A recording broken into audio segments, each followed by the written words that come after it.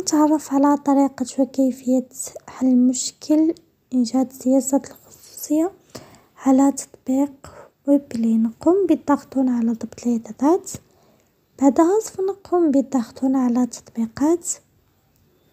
من ثم سوف نقوم بنزول إلى الأسفل والضغط على تطبيق ويبلي بعدها سوف نقوم بالضغط على إيقاف الإجباري. من ثم سوف نقوم بالضغط على الموافقة. بعدها سوف نقوم بالضغط هنا على مكان التخزين. من ثم سوف نقوم بالضغط هنا على مسح تخزين مؤقت. بعدها سوف نقوم بإيقاف إعادة تشغيل الواي فاي خاص بكم. ثم سوف نقوم بالذهاب إلى متجر جوجل.